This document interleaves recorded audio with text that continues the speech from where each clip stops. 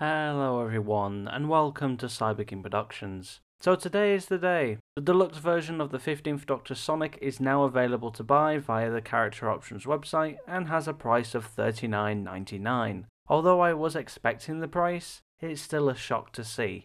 This is the second version of the 15th Sonic, as a standard retail version is available for pre-order from multiple retailers with a price of $24.99.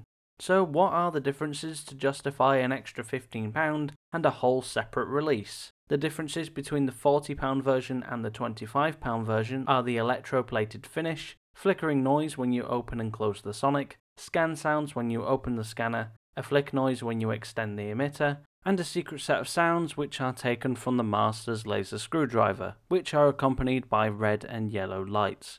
I'm glad they've definitely learned their lesson from the 14th Sonic with them putting actual differences between the two releases. I do think the Sonic is overpriced though, so much so I'm actually going to pass on this.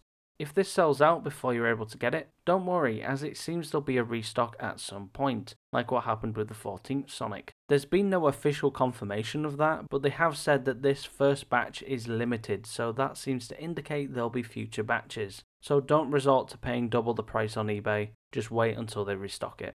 But yeah, that's the end of this video. If you liked it, please leave a like and tell me what you think about this release down in the comments. If you don't want to miss any of my future videos, including my reviews of the upcoming B&M sets, then please consider subscribing and ringing that notification bell. As always, thank you all so much for watching, and until we meet again, goodbye.